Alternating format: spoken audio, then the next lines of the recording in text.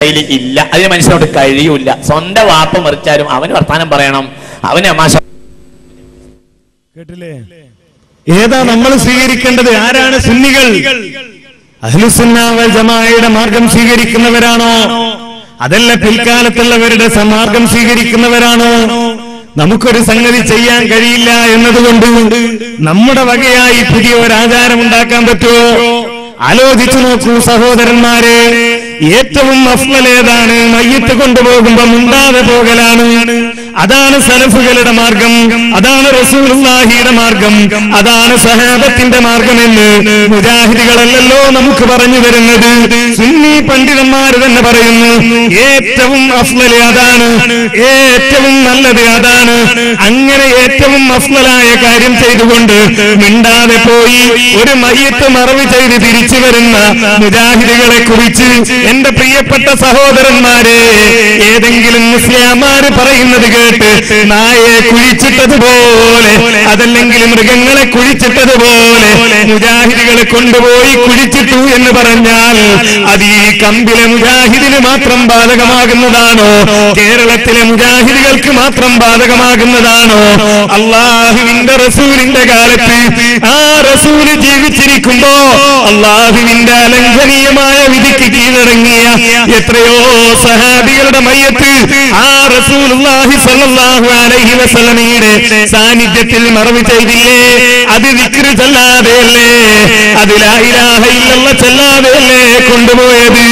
ആ റസൂലുള്ളാഹിയുടെ മയ്യത്ത് അള്ളാഹുവിന്റെ റസൂലിന്റെ മയ്യത്ത് ആ തിരുശരീരം മറവ് ചെയ്തില്ലേ? അവിടെ ലാ ഇലാഹ ഇല്ലല്ലാഹ് ചൊല്ലിയോ? അബൂബക്കർ സിദ്ദീഖ് റളിയല്ലാഹു അൻഹുവിന്റെ മയ്യത്ത് ലാ ഇലാഹ ഇല്ലല്ലാഹ് ചൊല്ലിയാണോ കൊണ്ടുപോയത്? അല്ലെന്ന് പറയുന്നത് മുജാഹിദികളല്ലല്ലോ. സുന്നി പണ്ഡിതന്മാര് തന്നെയല്ലേ? ആ സുന്നി പണ്ഡിതന്മാര് തന്നെ ഏറ്റവും അഫ്ലലാണെന്ന് പറഞ്ഞ കാര്യം മുജാഹിദികൾ ചെയ്യുമ്പോ എന്തിനാ സഹോദരന്മാരെ മുജാഹിദികളെ ആക്ഷേപിക്കുന്നത്? ഇതാ മുജാഹിദികൾ പറയുന്നത്. ചെയ്യുന്നതിനൊക്കെ മുജാഹിദികൾക്ക് പ്രമാണങ്ങളുടെ പിൻബലമുണ്ട്. ഞാൻ പറഞ്ഞല്ലോ നമ്മുടെ വകയായി ചെയ്യാൻ പറ്റില്ല. ഒരൊറ്റ ഉദാഹരണം മാത്രം നിങ്ങൾ ആലോചിച്ചു നോക്കൂ. വെള്ളിയാഴ്ച മുസ്ലിങ്ങളൊക്കെ പള്ളിയിലെത്തുന്നു. ഇമാമ് മിമ്പറിന് മുകളിൽ കയറിയിരിക്കുന്നു. മുഹദ്ദിൻ ബാങ്ക് വിളിക്കുന്നു. ആ ബാങ്ക് വിളിക്ക് ശേഷം ബാങ്കിന് ശേഷമുള്ള പ്രാർത്ഥനയുണ്ട്. ഒരു മുസ്ലിയാർക്ക് തോന്നി ഇവിടെ പലരും പ്രാർത്ഥന നടത്തുന്നില്ലല്ലോ. പലരും വെറുതെ ഇരിക്കുകയാണ്. ചിലരൊക്കെ വർത്തമാനം പറയുകയാണ്. അതുകൊണ്ട് ഞാൻ മിമ്പറിൽ നിന്ന് ഉറക്കെ അങ്ങ് പ്രാർത്ഥിക്കാം. തമ്മ എന്ന് തുടങ്ങിയ മുസ്ലിയാര് പ്രാർത്ഥിക്കുകയും ബാക്കിയുള്ളവരൊക്കെ ആമീൻ പറയുകയും ചെയ്യുന്ന ഒരു സമ്പ്രദായം തുടങ്ങിയാൽ പ്രിയപ്പെട്ടവരെ അത് നമുക്ക് അംഗീകരിക്കാൻ കഴിയുമോ? അത് പറ്റുമെന്ന് ഏതെങ്കിലും മുസ്ലിംമാര് പറയുമോ?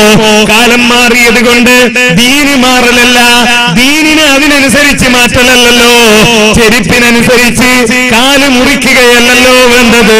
കാലിനൊത്ത ചെരിപ്പ് വാങ്ങുകയല്ലേ വേണ്ടത്. ഇവിടെ മുസ്ലിംമാര് ചെയ്യുന്നത് കാലിനനുസരിച്ച് ചെരുപ്പ് വാങ്ങുന്നതിന് പകരം കാലത്തിനനുസരിച്ച് ദീനിനെ മാറ്റിക്കൊണ്ടിരിക്കുകയാണ്. ഉള്ള ദീന് അതിനനുസരിച്ച് ആളുകളെ മാറ്റുന്നതിന് പകരം ആളുകൾ മാറാൻ തയ്യാറാകാതെ വരുമ്പോ അതിനനുസരിച്ച് ദീനിനെ മാറ്റുകയാണ്. ഇത് നമുക്ക് പറ്റുന്ന കാര്യമാണോ? അല്ലെന്നേ മുജാഹിദുകൾ പറഞ്ഞിട്ടുള്ളൂ. കാരണം എന്തെന്നല്ലേ? അല്യവുമാക്കുമൽ തുലക്കും ദീനക്കും വാത്തുമന്തു അലൈക്കും നിയമത്തി വറലീഹി തുലക്കുമുൽ ഇസ്ലാമ ദീനാ.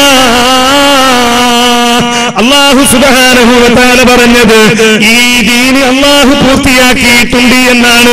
അള്ളാഹു തൃപ്തിപ്പെട്ടു തന്ന ദീൻ. ആ ദീനിൽ മയ്യത്ത് കൊണ്ടുപോകുമ്പോ വിക്രി ചെല്ലലില്ല എങ്കിൽ പിന്നെ എന്തിനാ നമ്മളതുണ്ടാക്കുന്നത്?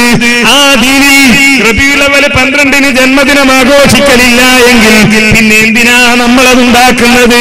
ആ ദീനിൽ കബറ് കെട്ടിപ്പൊക്കലില്ല എങ്കിൽ പിന്നെ എന്തിനാ നമ്മളതുണ്ടാക്കുന്നത് അതല്ലേ അള്ളാഹുവിന്റെ റസൂലും നമുക്ക് പഠിപ്പിച്ചു തന്നത്.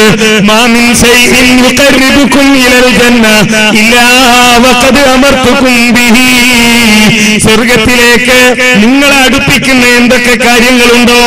ഈ ലോകത്ത് ജീവിക്കുന്ന ഏത് മുസ്ലിമും ആഗ്രഹിക്കുന്നത് അള്ളാഹുവിന്റെ സ്വർഗത്തിലെത്തണമെന്നല്ലേ? അങ്ങനെ ആഗ്രഹിക്കുന്ന മുസ്ലിമേ നീ സ്വർഗത്തിലെത്തണമെന്ന് ആഗ്രഹിച്ചുകൊണ്ട് ജീവിക്കുന്ന നീ എന്തൊക്കെ പ്രവർത്തനം ചെയ്യണമെന്ന് അതാ നമ്മുടെ റസൂൽ നമുക്ക് പഠിപ്പിച്ചു തന്നിരിക്കുന്നു. അള്ളാഹുവിന്റെ റസൂല പറയുന്നത് സ്വർഗത്തിലേക്ക് നിങ്ങളെ അടുപ്പിക്കുന്ന ഒന്നുപോലും ഞാൻ പഠിപ്പിക്കാതെ വിട്ടിട്ടില്ല.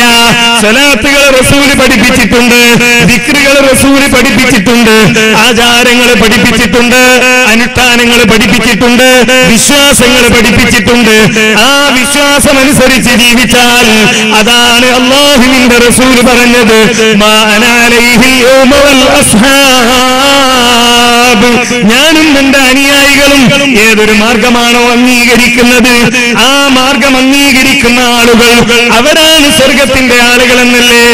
ആ സ്വർഗത്തിൽ എത്തിച്ചേരണമെന്ന് ആഗ്രഹിക്കുന്നവർ ഈ ആദർശം സ്വീകരിക്കണം എന്ന് മാത്രമേ മുജാഹിദുകൾക്ക് പറയാനുള്ളൂ. ഇതാണ് ആ അടിസ്ഥാനത്തിൽ ഇതാണ് സുന്നി ആദർശം. അതുകൊണ്ട് ഈ സുന്നി ആദർശം അംഗീകരിക്കണം. ഇതിനെതിരായി പ്രമാണങ്ങളുണ്ടോ? ഈ ആളുകൾ അത് കേൾക്കട്ടെ. പ്രമാണങ്ങളാ വേണ്ടത്. അല്ലാതെ ആരെങ്കിലും നടത്തിയ പ്രസംഗങ്ങൾ ആരുടെയെങ്കിലും പ്രസംഗത്തിൽ നിന്നുള്ള ഭാഗങ്ങൾ അത് കട്ട് ചെയ്ത് മുജാഹിദ് പ്രസ്ഥാനത്തെ എതിർക്കാൻ വേണ്ടി എതിരാളികൾ ഉപയോഗിച്ച ഭാഗങ്ങൾ കേൾപ്പിച്ച് ജിന്ന് പറഞ്ഞ് പിശാജ് പറഞ്ഞ് സിഹിർ പറഞ്ഞ് തെറ്റിദ്ധരിപ്പിക്കാമെന്ന വ്യാമോഹം നടക്കുന്നതല്ല. ആ വിഷയത്തിലൊക്കെ മുജാഹിദികളുടെ നിലപാടുകൾ വളരെ പഴയ നിലപാട് തന്നെയാണ്. ഒരൊറ്റ കാര്യം മാത്രം ഞാൻ സൂചിപ്പിക്കട്ടെ. ചില ആയത്തുകളൊക്കെ ഓതി അതൊക്കെ മുജാഹിദികൾ പുതിയതായി പറഞ്ഞതാണ്. ചില മന്ത്രങ്ങളൊക്കെ മുജാഹിദികൾ ഉണ്ടാക്കി എന്നൊക്കെ പറഞ്ഞില്ലേ? ആയിരത്തി തൊള്ളായിരത്തി എഴുപത്തിനാലിൽ കേരളത്തിലെ സുന്നികളും മുജാഹിദ് പണ്ഡിതന്മാരും തമ്മിൽ കുണ്ടോ മലപ്പുറം ജില്ലയിലെ കുണ്ടുതോട് വെച്ച് വാദപ്രതിവാദത്തിന് വേണ്ടി എഴുതിയ വ്യവസ്ഥയൊന്ന് വായിച്ചു നോക്കുക.